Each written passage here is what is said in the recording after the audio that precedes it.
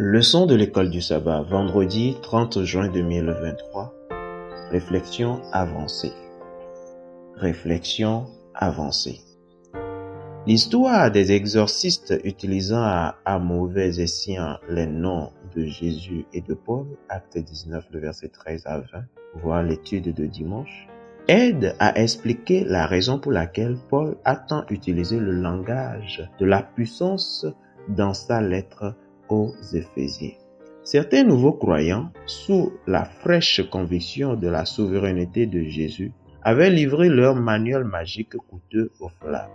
Grâce à la découverte de quelques 250 papyrus traitant de la magie ainsi que d'autres découvertes, nous avons de nombreuses illustrations portant sur les rituels, les sorts, les formules, les malédictions, etc., similaires à celles probablement présentées dans ces manuels de magie. Ces manuels donnaient des conseils aux croyants sur comment mener des rituels pour persuader les dieux, les déesses et les pouvoirs spirituels à faire tout ce qu'ils demandent. Luc nous dit que ces manuels valaient 50 000 pièces d'argent, soit 50 000 jours de salaire. Dans le contexte actuel, en supposant qu'un travailleur qualifié gagne un salaire de 80 dollars par jour, cela équivaut à 4 millions de dollars. Ce détail démontre l'importance et la centralité de ces manuels dans leur vie quotidienne. Je cite, Il a fallu l'intervention souveraine de Dieu pour qu'il soit suffisamment convaincu qu'il devrait complètement se repentir de l'utilisation continue des amulettes, des invocations et des moyens traditionnels d'acquérir le pouvoir spirituel. Fin de citation. Clinton E. Arnold, Ephésiens. Grand Rapide MI Zondervan 2010 page 34. Nous en venons à comprendre qu'Éphésiens a été écrit aux croyants qui avaient besoin d'instructions sur, je cite, la façon de faire face à l'influence et aux attaques continues des puissances cosmiques sinistres. Fin de citation. Clinton E. Arnold, Power and Magic, The Concept of Power in Ephesians. Grand Rapide MI Book 1992, page 165. La réponse de Paul est l'épître aux Éphésiens dans laquelle il désigne Christ comme celui qui a été exalté au-dessus de toute puissance. Éphésiens 1, le verset 20 à 23, et souligne la supériorité de la puissance que Dieu donne aux croyants. Éphésiens 2, le verset 15 à 19, Éphésiens 3, le verset 14 à 21, Éphésiens 6, le verset 10 à 20.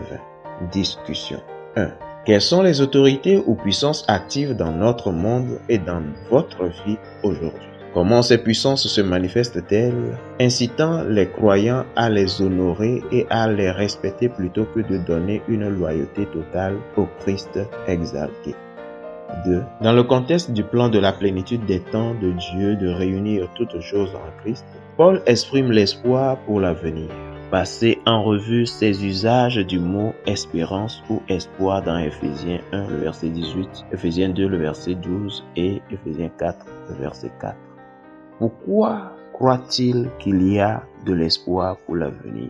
Lisons ces passages. Ephésiens 1, le verset 18 et qu'il illumine les yeux de votre cœur pour que vous sachiez quelle est l'espérance qui s'attache à son appel, quelle est la richesse de la gloire de son héritage qu'il réserve aux saints. Amen. Ephésiens 2, le verset 12. Souvenez-vous que vous étiez en ce temps-là sans Christ, privé du droit de citer en Israël, étranger aux alliances de la promesse, sans espérance et sans Dieu dans le monde.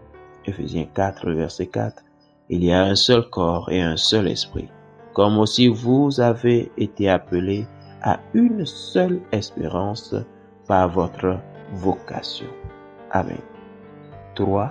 Dans les passages suivants d'Éphésiens, comment Paul présente-t-il la grande espérance future du retour de Christ? Ephésiens 1, le verset 13 et 14. Là, il est écrit, En lui, vous aussi, après avoir entendu la parole de la vérité, l'évangile de votre salut, en lui, vous avez cru et vous avez été scellés du Saint-Esprit qui avait été promis, lequel est un gage de notre héritage pour la rédemption de ceux que Dieu s'est acquis à la louange de sa gloire. Amen. Ephésiens 1, le verset 21, là il est écrit, Au-dessus de toute domination, de toute autorité, de toute puissance, de toute dignité, et de tout nom qui se peut nommer, non seulement dans le siècle présent, mais encore dans le siècle à venir.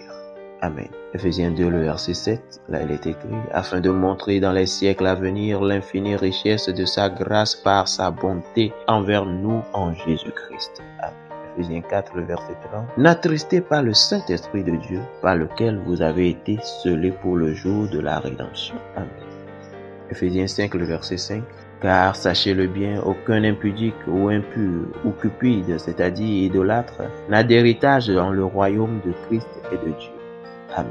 Quelle est la signification de cet espoir pour nous aujourd'hui? Fidèles auditeurs et internautes, que Dieu vous bénisse et qu'il vous garde alors que nous avons commencé cette nouvelle étude sur l'épître aux Éphésiens. Puisse le Seigneur nous diriger à détourner nos regards de tout ce qui nous attire, soit puissance, soit Dieu, et le porter sur le vrai Dieu pour l'adorer et espérer la vie éternelle au nom de Jésus-Christ. Amen.